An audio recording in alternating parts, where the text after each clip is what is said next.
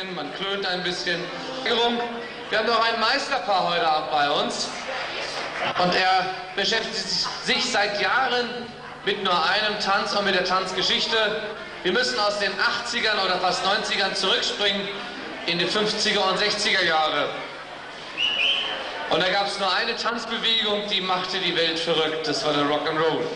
Wenn man mal Zeit hat, das ist bei ihm das Problem.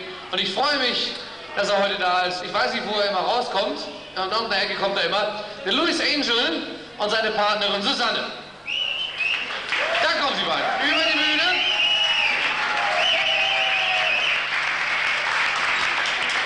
Ja. Den meisten, die, die, die gar nicht den meisten, aber etlichen schon ein Begriff. Die beiden in Berlin, in Flensburg, die Boogie-Meisterschaften gewonnen. Und jetzt tanzen sie immer wieder bei uns, kommen aus Braunschweig.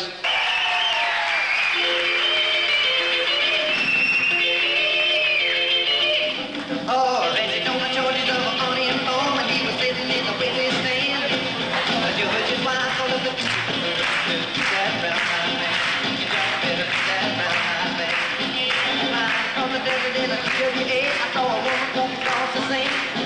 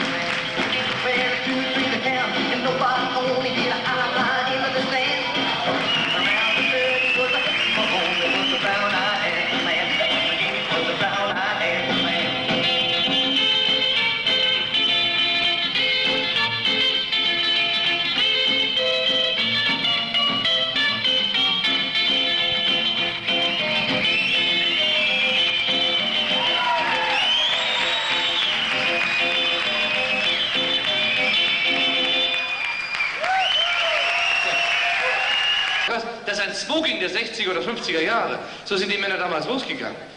Etwas weite Hosen, na ja, ist ja klar, damit sonst kommst du den Spagat gar nicht weit runter. Super, super.